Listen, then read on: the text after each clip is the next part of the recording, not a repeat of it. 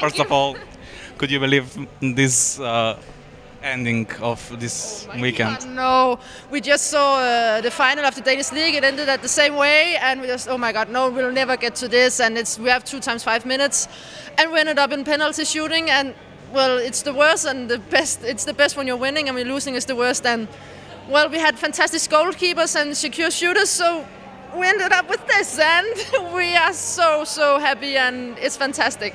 Did you prepare especially for uh, seven meter line shootings? No, no, we haven't. But we have so many good seven meter shooters uh, shooting for the national team every time. So when we got here, I, I knew that we could do it. Thank you. Congratulations.